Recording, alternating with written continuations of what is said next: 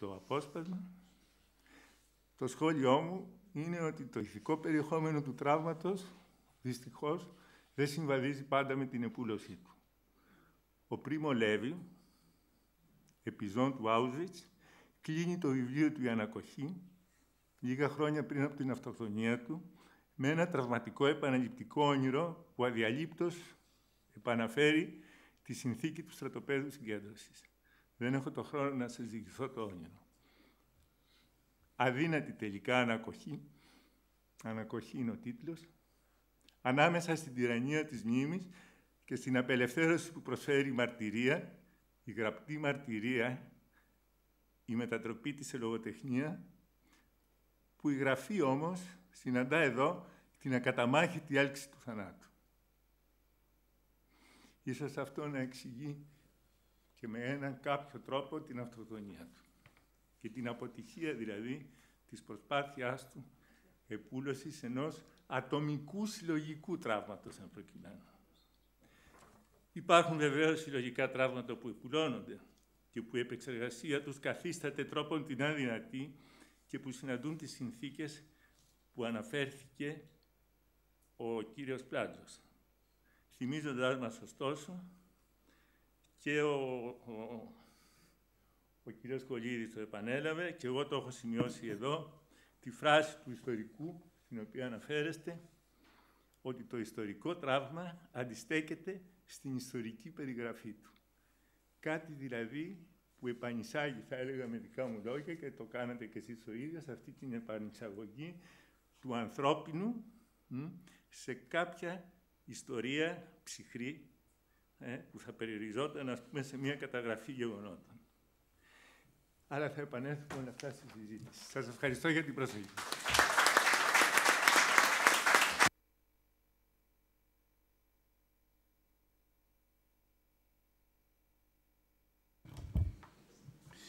Ευχαριστώ και με τη σειρά μου τον κύριο Στεφανάτο για αυτή την, ε, όπως θα είδατε, πολύ εμπεριστατωμένη ανάλυση της έννοιας του τραύματος. Το, το κείμενό του ε, είναι από ψυχαναλυτικής απόψεως ε, πάρα πολύ αξιόλογο και θα άξιζε κανείς να το μελετήσει και ε, γραμμή-γραμμή ή παράγραφο-παράγραφο, εννοώ όταν είναι κανείς ε, ψυχαναλυτής.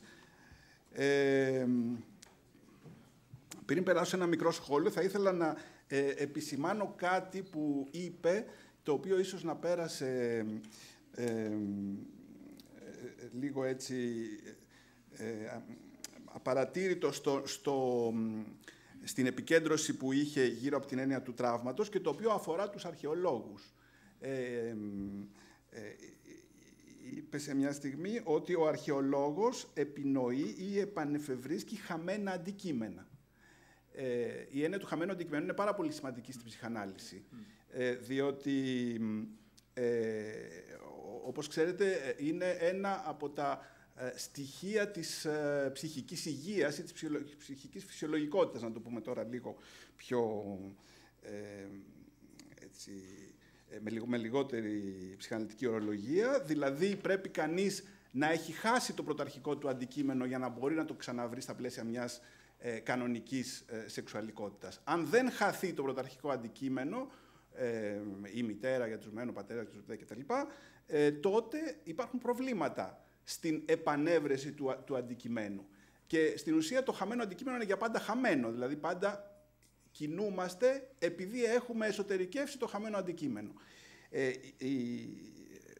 νομίζω καλά κατάλαβα αυτό που εννοείς, είναι ότι ο, ο αρχαιολόγος δεν είναι ότι επινοεί χαμένα αντικείμενα που υπήρχαν και, τα, και, και λέμε αυτό υπήρχε και το χάσαμε, επινοεί το χαμένο ως τέτοιο. Ναι, λέει ότι δεν είναι απλώς ναι. ακριβώς, δεν είναι απλώς ένας καφέας που θα μας έδινε το πράγμα. Λέω ότι δεν είναι απλώς ένας καφέας που θα μας παρέδιδε αυτό καθ' αυτό, το κάτι. Ε. Αντιθέτως, επανεφευρίσκει, υπό την έννοια του επινοώ, κατασκευάζω, όπως και ο ψυχαναλυτής, χωρίς να το κάνει συνειδητά αυτό το πράγμα. Είναι η δουλειά του. Χαμένα αντικείμενα ιστορικά, τα οποία τα επανεισάγει, θα λέγαμε, στην ατομική εκδοχή, στο συμβολικό δίκτυο του λόγου, ε, όπου το στήθος γίνεται επιθυμία Εδώ ε, γίνεται κάτι, μια γνώση η οποία εισάγεται στο κοινωνικό, στο κοινωνικό πολιτιστικό, στο ιστορικό. Κάπως έτσι. Η έλλειψη δηλαδή δεν, αντικα, δεν υποκαθίσταται από αυτό, απλώς μετασχηματίζεται, μετουσιώνεται. Κάπως έτσι. Το σε καλύπτει. Όχι, όχι, μα δεν είχα διαφωνία. Ίσα ίσα ε, ήθελα να, ε, να, να τονίσω, μου φάνηκε πολύ ωραία σαν διατύπωση, γιατί ε, τα αρχαία αντικείμενα που βρίσκουμε, πολλά από αυτά τα ήξεραν και οι αρχαίοι. Mm. Απλώς δεν τα αντιμετώπιζαν σαν χαμένα αντικείμενα. Η, η επιστήμη της αρχαιολογίας κομίζει αυτό, ας πούμε, το, το αντικείμενο ως, ως χαμένο. τώρα, Αν ήθελα να... Ε, αναρωτήθηκα ποια είναι η λέξη που θα μπορούσε να συνοψίσει το πνεύμα των δύο ομιλιών και νομίζω ότι η λέξη αυτή είναι η λέξη κατασκευή. Δηλαδή, ε, τραύματα και μνήμες είναι κατασκευές. Από αυτή την άποψη είμαστε, ε, κύριε Πλάτζο, σε πλήρη νοτερικότητα. Ε, δεν έχουμε να κάνουμε με ουσίες, αλλά με κατασκευές ε, τώρα, συμβολικές, τις πούμε γλωσσικές, υποκειμενικές, όπως, ιστορικές. όπως, ιστορικές, όπως θέλουμε, αλλά πάντως ε, κατασκευές. Ε, υπό μία έννοια, ε, το θέμα είναι σε τι, τι εξυπηρετούν αυτές οι κατασκευές. Ε, θα, θα έλεγα ότι αυτό που κατά κάποιο τρόπο ε, καυτηριάζεται ε, εσείς με την ομιλία σας είναι η κατασκευή τραυμάτων του τύπου Ικάρη που μας περιμένει στο Λονδίνο κτλ. για να συνδεθούμε με μια ουσιοκρατική αντίληψη της ελληνικότητας. Ε, ε, απλώς, ε, γιατί αυτό να το συνδέσουμε μόνο με την πολιτισμική θεωρία των τελευταίων χρόνων; Δεν είχε μια ανάλογη διάσταση όλος ο ιστορικισμός του 19ου αιώνα και όχι μόνο στην Ελλάδα, αλλά ως ε, ε, ιδεολογικό υπόβαθρο της δημιουργίας των εθνών κρατών ε, στο, στο, στο σύνολο τέλος πάντων αυτού του ιστορικού φαινομένου.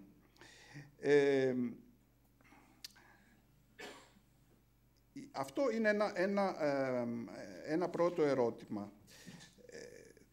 τώρα, αν κάποιος ήθελε να πάει λίγο παραπέρα, θα, ε, θα έλεγε ότι, ε, δεν ξέρω αν ε, συμφωνείτε και εσείς κύριε Στεφανάτο, αλλά, μάλλον ας το, ας το πω αλλιώς. Έρχομαι σε αυτό που είπε ο κύριος Στεφανάτος, το οποίο νομίζω ότι είναι κάτι πολύ κομβικό και, πάρα, και πρέπει να το υπογραμμίσουμε και να αξονίσουμε εκεί την, τη, τη συζήτησή μας είπε κάτι που για μας τους κλινικούς είναι πάρα πολύ σημαντικό, γιατί έχει να κάνει με την καθοδήγηση της θεραπείας κάθε φορά.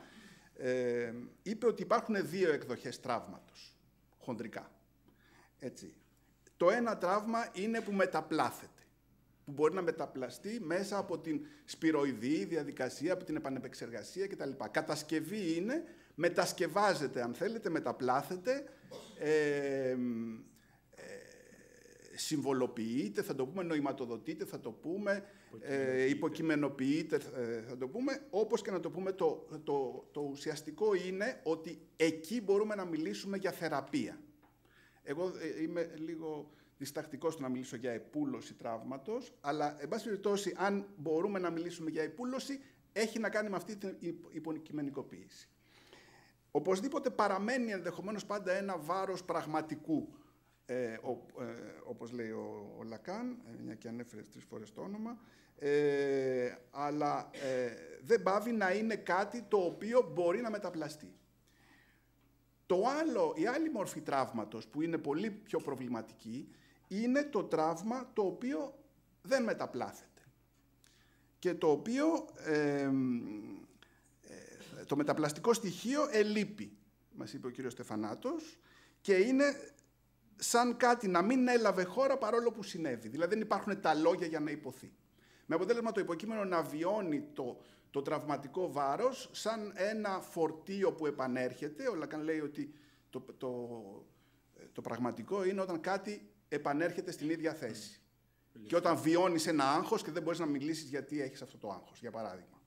Έτσι. Ή βιώνεις μια ενορμητική ε, κίνηση δυσάρεστη, γιατί σε κάνει να οθείσαι προς το θάνατο ή προς την επιθετικότητα ή προς την αυτοκαταστροφή κτλ. Και, και δεν καταλαβαίνεις γιατί το επαναλαμβάνεις και, και, και όποια, η όποια λεκτικοποίηση τελικά παραμένει ε, αδιέξοδη ή ατελέσφορη. Ε, αυτές λοιπόν είναι δύο ε, εκδοχές τραύματος που έχουν να κάνουν με μία διαφορετική εκδοχή υποκειμένου και μία πρόσληψη δηλαδή, του τραύματος και με μία διαφορετική αντιμετώπιση του. Θα σας πρότεινα το εξής σχήμα και θα ήθελα την, ε, τη γνώμη σας ότι το, ε, το ιστορικό γεγονός που έχει βιωθεί τραυματικά, ε, μικρασιατική καταστροφή, ε, εμφύλιος, όπως είπατε, ολοκαύτωμα που είναι το μείζον ζήτημα του 20ου αιώνα, ε, όπως ξέρετε, θα έλεγα ότι ανήκει σε αυτή την κατηγορία του προβληματικού τραύματος που δεν μπορεί να μιληθεί.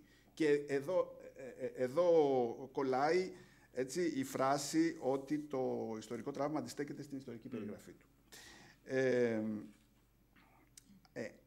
θα έλεγα ότι οι μεταγενέστεροι, αυτοί πλέον που για το ολοκαύτωμα διαβάζουν βιβλία ή ακούν, βλέπουν ταινίες ή ακούν ε, μαρτυρίες και τα, και τα λοιπά, αυτοί βρίσκονται σε άλλη, ε, σε άλλη κατάσταση.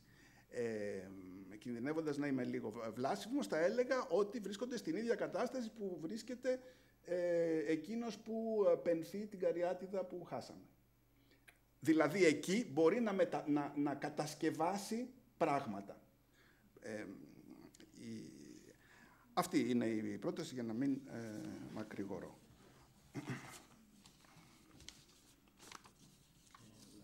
Ναι.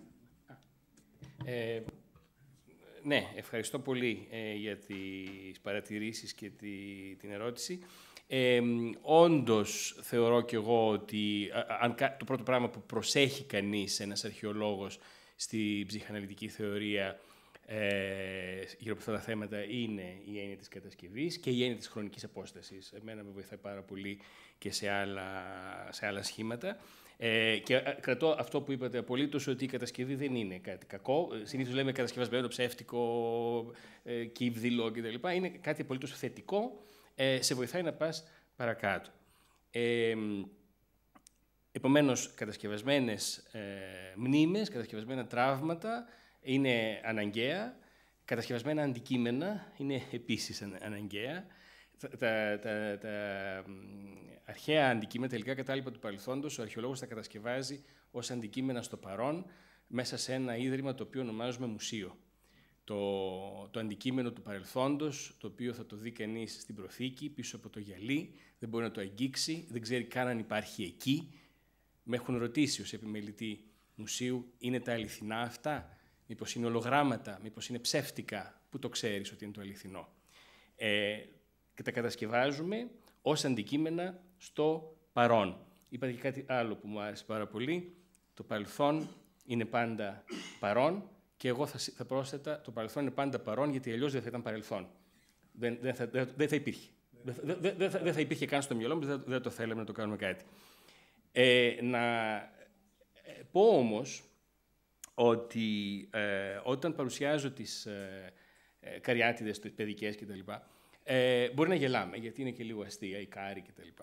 Αλλά το νόημα δεν είναι ότι το παρουσιάζουμε ως κάτι, ως ένα κίτς, μια, μια ευτελή εκδήλωση ενός ε, εθνικισμού ξεπεσμένου, μια μπαναλιτέ ή οτιδήποτε, αλλά ως μια παθολογία, την οποία ε, και εμείς όπως εσείς οφείλουμε να τη μελετήσουμε. Ευτυχώς δεν περιμένει κανείς από μένα να τον θεραπεύσω και να, να επουλώσω τα, τα τραύματά του. Ε, είναι όμως χρήσιμο, είναι χρήσιμο το εργαλείο στη σκέψη μας αυτό, να ξέρουμε ότι αυτού του είδους οι εκδηλώσεις είναι αρχαιολογίες, είναι εναλλακτικές προσεγγίσεις τελικά κατά του παρελθόντος και έχουν την αξία τους πέρα από το αν γελάμε ή συμφωνούμε ή διαφωνούμε με τον αρθή καριάτιδα πίσω ή οτιδήποτε άλλο.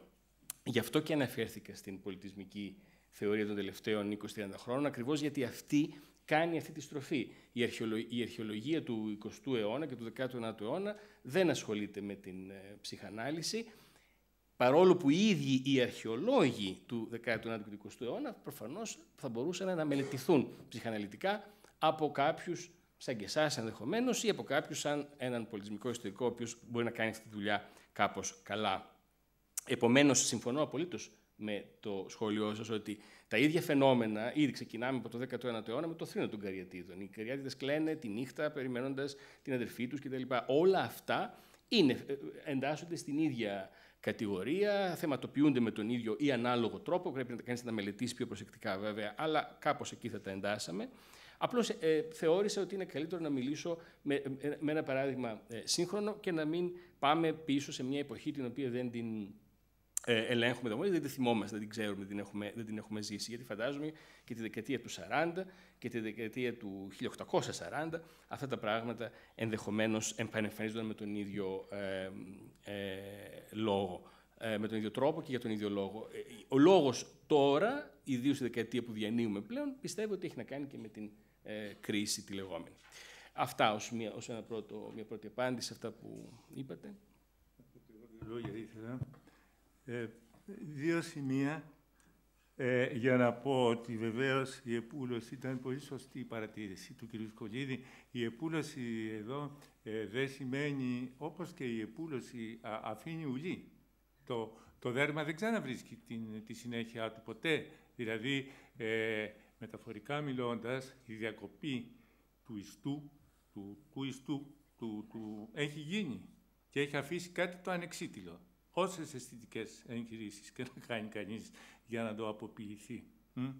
Ε, με την ίδια λογική, στο ψυχικό ιστό αυτού του ζωτικού συνεχούς που αποτελεί την ιστορία μας, ε, το τραύμα, ε, ακόμη και αν νοηματοδοτηθεί, δηλαδή υποκειμενοποιηθεί, αυτή εκεί και συμφωνούμε πλήρως νομίζω, ε, αν γίνει δηλαδή ένα στοιχείο διεύρυνσης του εδάφους που διαρκώς επιχειρεί να κατακτήσει το υποκείμενο για το ίδιο το υποκείμενο, ε, ενσωματώνοντας το απάνθρωπο, το απεχθές, το, το βρώμικο, το, το, το οτιδήποτε, αν αυτά όλα τα πράγματα ε, δηλαδή η υποκειμενοποίηση και η επούλωση δεν είναι αγγελική υπόθεση. Είναι ενσωμάτωση ανομολόγητων επιθυμιών, ε, πατροκτονιών, ε, Σέξπιρ, ολόκληρος, Φρόιτ, είναι, είναι φόνοι που γίνονται. Η κοινωνία στηρίζεται στους φόνους, δηλαδή στις καταστροφές, στις βαρβαρότητες που ζούμε.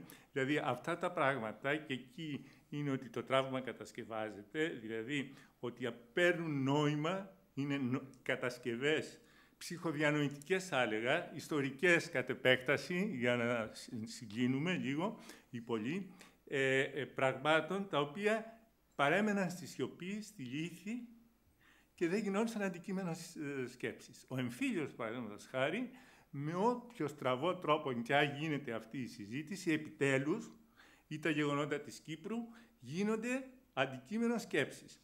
Δηλαδή μιας κατασκευής παρατήρηση τελευταία ως προς αυτό, ο Φρόιτ και πάλι στο κείμενο του για τις κατασκευές, 1937, τα τελευταία του έργα, λέει ότι οι κατασκευές δεν είναι τελειωτικά πράγματα.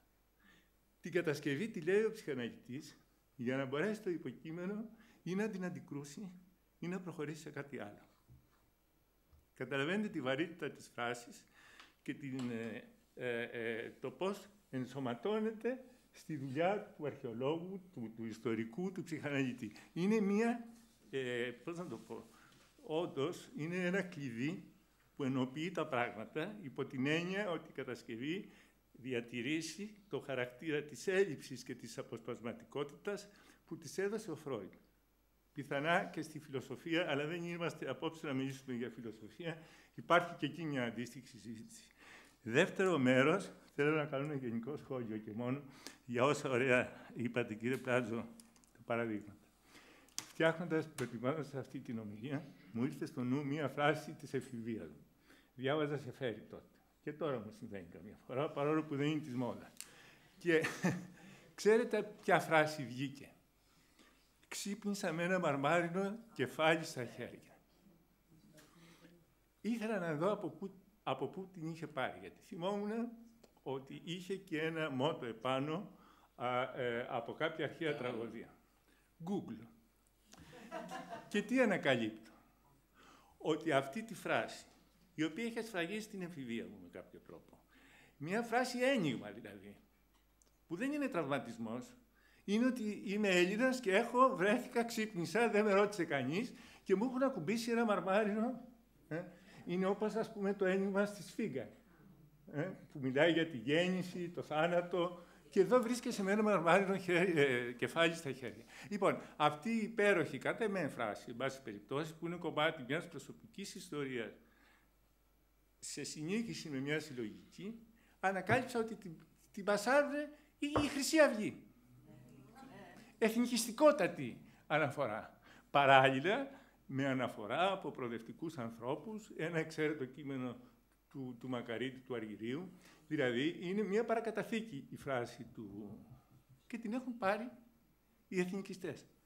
Τι λες εκεί για τη σύγχρονη κοινωνία, ας πούμε; Ε, αυτό ήθελα σαν ένα γενικό σχόλιο για όσα είπατε με τα οποία συμφωνώ.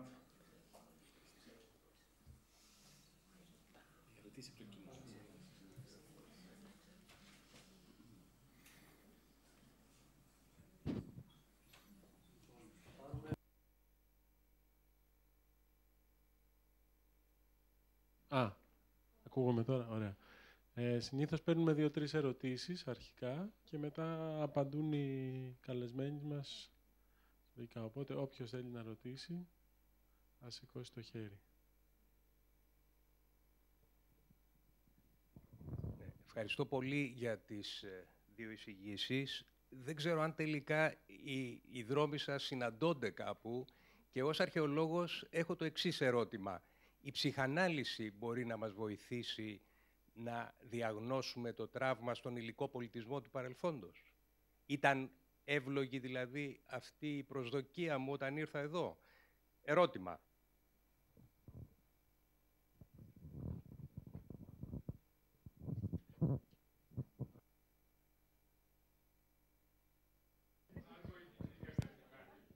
ε, επί δύο ώρες, πόσο, μια μισή ώρα, μιλάμε γι' αυτό. Ξέρετε, έχει όριο, τι να πει κανείς παραπάνω.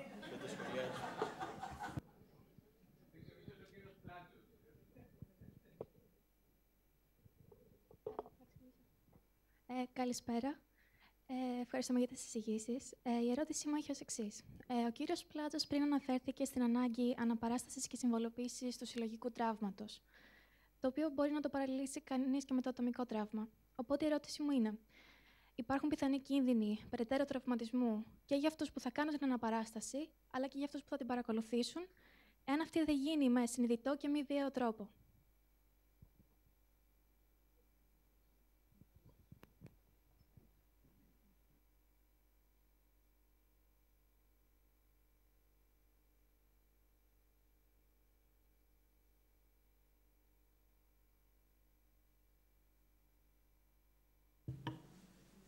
Ωραία. Ε, πρώτα, ναι, ναι. αν θέλει.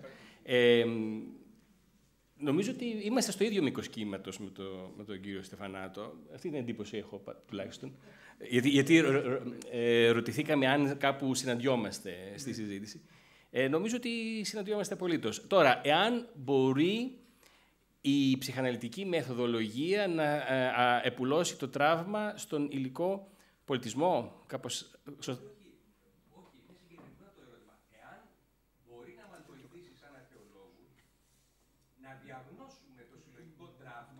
Ναι, μέσω του υλικού πολιτισμού. Ναι, ναι. Ε, η απάντη, αυτό το, το, έθιξα, το έθιξα αρχικά και γι' αυτό το, το παρέκαμψα κάπως. Ε, δηλαδή δεν κάνω κριτική. Ρωτάω, ρωτάω ναι, ναι.